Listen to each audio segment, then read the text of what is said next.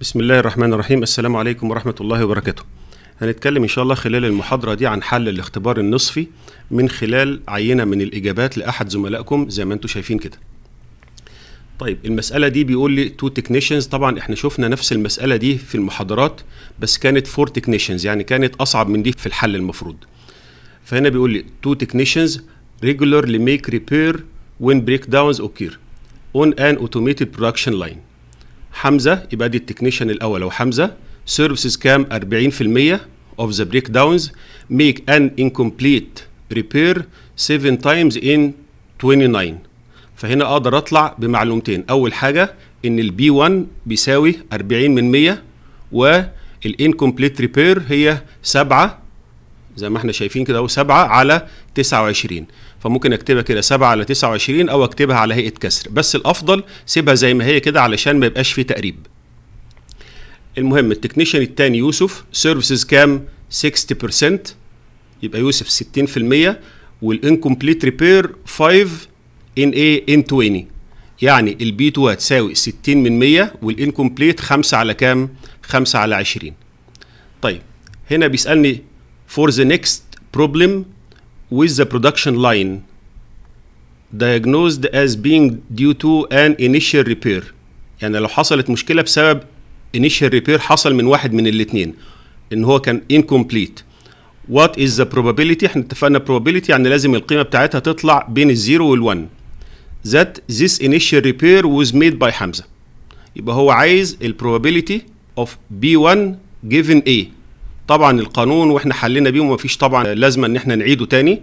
المهم إن إحنا هنعوض بالقيم اللي عندنا دي على طول. هي مجرد فوق هتضرب الأربعة من عشرة في السبعة على تسعة وعشرين وتحت هتضرب أربعة من عشرة في السبعة على تسعة وعشرين وتجمع عليها الستة من عشرة اللي هي ال B2 في ال incomplete due to ال B2 اللي هي ال 25 من 100 أو الخمسة على ال 20 هيطلع الرقم ده اللي هو point 3916 طبعا زميلكم هنا كتب الرقم أهو بالظبط. طلع الرقم زي ال correct answer وكمان ال correct answer لسه في إيه؟ في tolerance يعني ممكن لو زود 2 من 1000 أو قلل حتى 2 من 1000 تحتسب برضه الإجابة صحيحة. فطبعا زي ما أنتم شايفين كده الإجابة عبارة عن إيه؟ يعني قانون واحد بس وأسهل من المسألة اللي محلولة عندكم.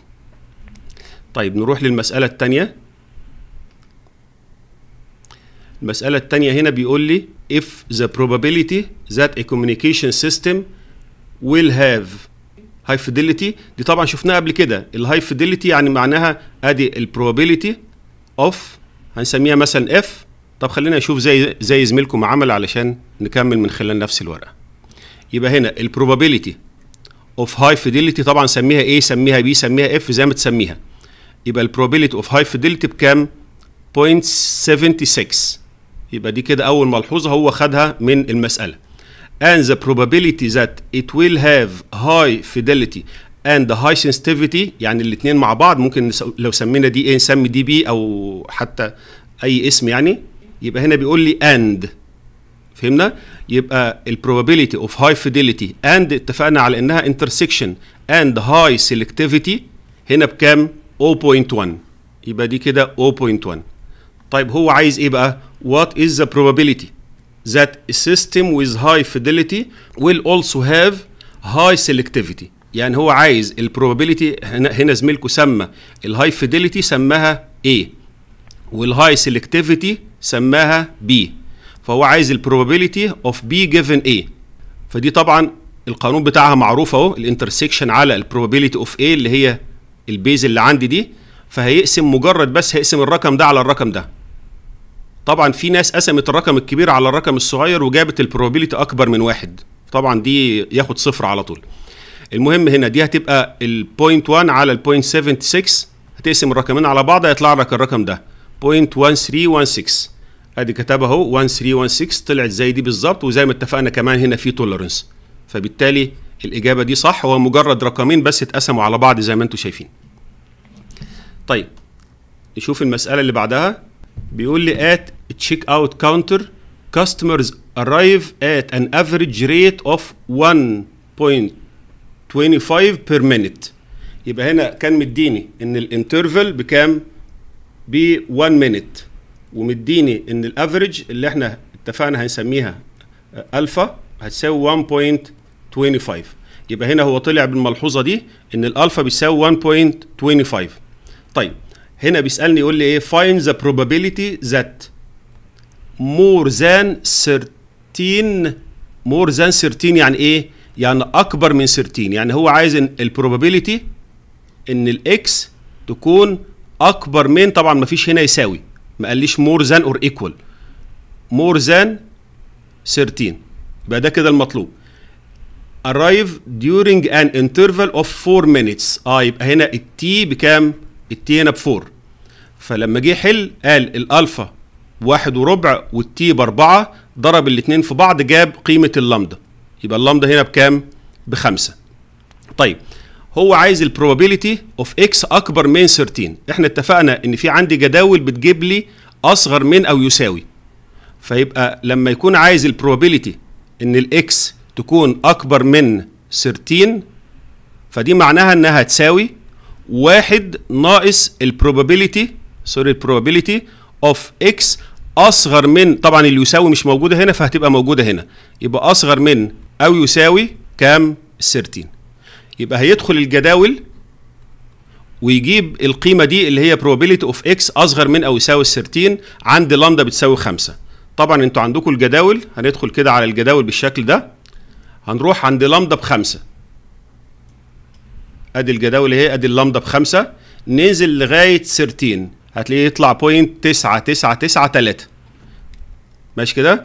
فطبعا إحنا اتفقنا إنك بنشتغل على ثلاث أرقام عشرية أو حتى لو اشتغلت على أربع أرقام عشرية هيطلع لك إن ال probability اللي إحنا عايزينها واحد ناقص 0.999 فهتطلع 0.001 طيب طبعا المسألة دي زي ما أنتم شايفين كده هي من النوع ال multiple choice فال multiple choice انت بتختار الإجابة اللي انت طلعتها أو أقرب إجابة ليها. فهو لقى ان أقرب إجابة ليه هي دي طبعا كانت هي الإجابة الصحيحة. فهمنا؟ يعني سواء قربت أو لأ هتلاقي برضو هي دي الإجابة الصح. طيب كده ده السؤال الثالث السؤال الرابع طبعا السؤال الرابع ده سهل جدا وشفتوه كتير. السؤال الرابع بيقول إيه؟ بيقول لي calculate the coefficient of variation percentage. طبعا كلمة percentage هنا معناها إنك هتكتبها كنسبة مئوية. إحنا اتفقنا probability يبقى من 0 ل 1 إنما percent من 0 ل 100% طيب فهنا طالب ال coefficient of variation percentage of the following samples readings. طبعا هنا حددنا إنها sample علشان كده لما هتيجي تحسب هتحسب ال S مش السيجما وهتستخدم طبعا القانون اللي هو هتقسم على n 1 وهنا مديني مجموعة من القيم. واحد اتنين تلاتة أربعة خمسة ستة سبعة تمن قيم. موضوع بسيط خالص إن أول حاجة هتحسب ال X bar أدي قانون ال X bar sigma X على ال n هتجمع الأرقام اللي عندك وتقسمهم على 8 طلعت أول حاجة اللي هي قيمة ال X bar. طيب إحنا ال coefficient of variation إحنا عارفين القانون بتاعه أهو. القانون بتاعه إنه بيساوي ال standard deviation على ال mean. فكده إحنا حسبنا ال mean باقي لي ال standard deviation. وبما إن هو قال لي sample فهستخدم هنا إيه؟ قانون ال sample يبقى مجرد ال X bar اللي أنا جبتها دي هطرحها من كل قيمة يبقى كتبت القيم اللي عندي اللي هي ال X اللي هي 17 ل 20 اللي هي نفس القيم اللي إيه؟ اللي given هنا. طبعا عملية الترتيب هنا مش مهمة يعني. بس هو رتب مش مشكلة. المهم الأرقام اللي عندي اللي هم الثمان أرقام دول كل رقم هطرح منه ال X bar وبعدين هربعه. جبت كده مجموعة الأرقام دي كلها كده. هتعمل لها سميشن هتجيب الرقم ده تقسمه على n minus 1 واتفقنا إن ال n هنا ب 8 يبقى n minus 1 8 ناقص 1 صح؟ كده قدرنا نطلع ال S مجرد هتقسم ال S على ال X bar هيطلع لك الرقم ده. هنا طلع عنده 66.5% هنا كتبها 66 66 ونص والحل الصح طبعا إيه؟ برضو 66 ونص أو 66 plus or minus 2% من الإجابة. فطبعا هو داخل ال range فالحل بتاعه يعتبر صحيح. ناخد المسألة الخامسة والأخيرة بيقول لي manufacturer of external hard drives claims that only 20% of his drives require repairs within the warranty period of 12 months. يعني هو ادعى إن في 20% بيطلع فيهم عيوب. فدي تعتبر إيه؟ نسميها بي والفترة اللي بيحصل فيها العيوب دي هي ال 12 مانث طيب بيقول لي if you took a sample of 20 يبقى هاخد هنا sample مكونة من إيه؟ من 20 طبعا دي اللي إحنا اتفقنا بنسميها small n يبقى ال small n هنا بكام؟ ب 20 زي ما زميلكم قال كده هنا. طيب بيقول لي what is the probability that at least 6 يبقى هو عايز ال probability of X ال X بقى بتساوي كام؟ لما يقول هنا least 6 at least 6 يعني على الأقل 6 يعني معناها إنها 6 و7 وهكذا لغاية الآخر.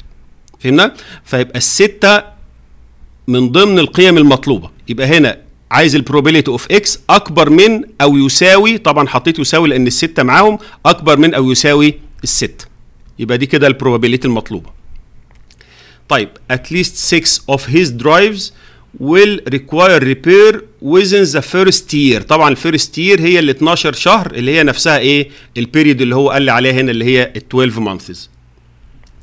طيب يبقى الحل ببساطة إن عندي ال n بتساوي 20 وعندي ال X أكبر من أو يساوي 6 وعندي ال P بتساوي ال 20% طبعا المسألة دي واضح جدا طبعا إحنا حلينا زيها برضو في المحاضرات.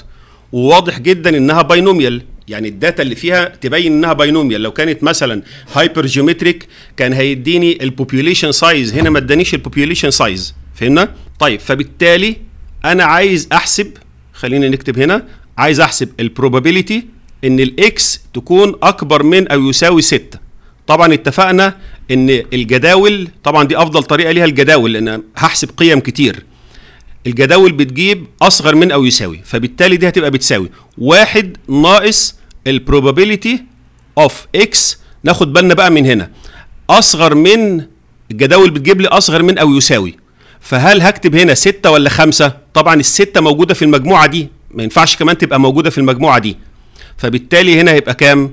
هنا هيبقى خمسة خلاص؟ يبقى المجموعة اللي هي المطلوبة من أول ستة وأكتر طيب هتبقى بتساوي واحد ناقص المجموعة اللي هي أصغر منها أصغر منها يعني معناها تبدأ من كام؟ تبدأ من خمسة فبالتالي هنا هجيب ال probability of X أصغر من أو يساوي خمسة طبعا يبقى أنا محتاج أدخل الجداول أجيب قيمة واحدة بس فزميلكم هنا دخل الجداول عند ال cumulative binomial وحسب ال binomial عند X بتساوي كام؟ خمسة زي ما اتفقنا. طبعا هيدخل الجدول لقى قيمة ال probability of X أصغر من أو يساوي خمسة طلعت بالرقم ده واحد ناقص الرقم ده طلع لي كام؟ 0.1958 جه هنا في الحل كتب الرقم ده طبعا هو نفس الرقم ده هو نفس الرقم ده فبالتالي الإجابة بتاعته صح وخد الدرجة كاملة. فهمنا؟ طبعا زي ما اتفقنا إن إحنا في الامتحان بندي برضو range فال range يعني معناها إن هو لو كتب أي قيمة بين القيمتين دول هيتحسب الحل بتاعه صح. وبكده نكون خلصنا حل الاختبار النصفي. شكرا والسلام عليكم ورحمة الله وبركاته.